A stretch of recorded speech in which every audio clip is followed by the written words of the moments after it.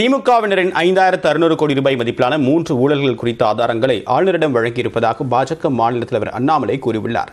பாஜகவின் செயல் மக்களை திசை திருப்பக்கூடிய வேலையே என்று திமுக அமைப்பு செயலாளர் ஆர் எஸ் பாரதி பதிலடி கொடுத்துள்ளார்.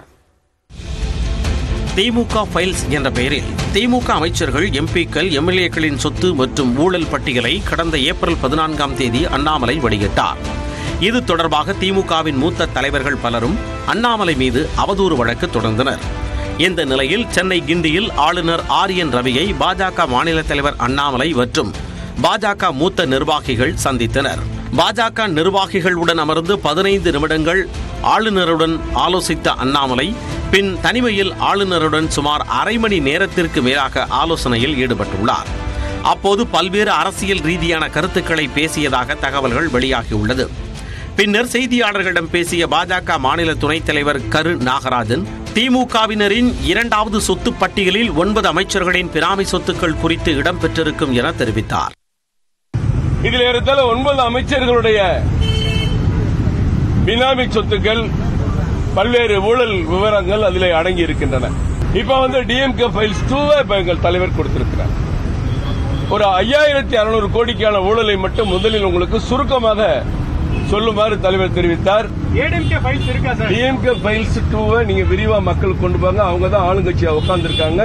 முன்னாள் கட்சியை பத்தி கேட்கறத விட இன்னைக்கு மக்களை இன்னைக்கு மக்களை இன்னைக்கு மக்களை சுரண்டு கொண்டிருப்போல பாருங்க.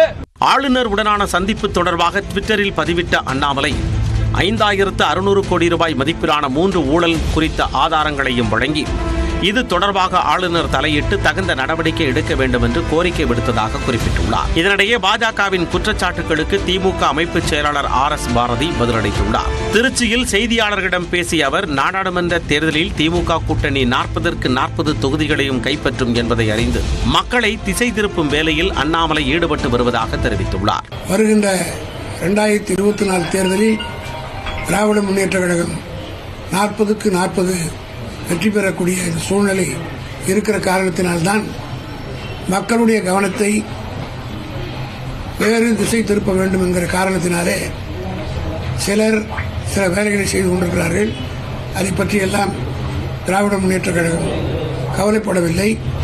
குறிப்பாக இன்றைக்கு தமிழ்நாட்டுடைய பாரதிய ஜனதா கட்சி தலைவர் அண்ணாமலை அவர்கள் இந்த இரண்டு நாட்களாக தமிழ்நாட்டு மக்கள் மத்தியிலே இருக்கிற இந்த எழுச்சியை பார்த்துவிட்டு திசை திருப்பதற்காக ஏதோ ஒரு புகார் கொடுப்பது போல வாய் பிடித்ததோ மாங்காய் பிடித்ததோ என்று ஆளுநரிடத்தில் கொடுத்திருக்கிறார்.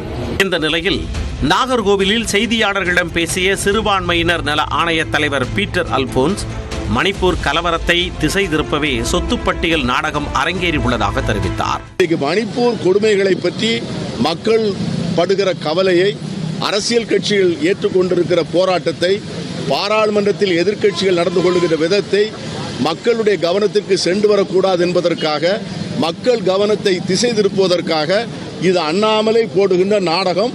இதற்கு கவர்னரும் உடந்தையாக இருப்பதுதான் நமக்கு அதிர்ச்சியாக இருக்கிறது. தனது பெயர் செய்திகளில் வர வேண்டும் என்பதற்கான இதுபோன்ற செயல்களில் அண்ணாமலை ஈடுபடுவதாகவும் பீட்டர் அல்போன்ஸ் விமர்சித்தார். இனி அடுத்தாக ஒரு நிமிட செய்தி.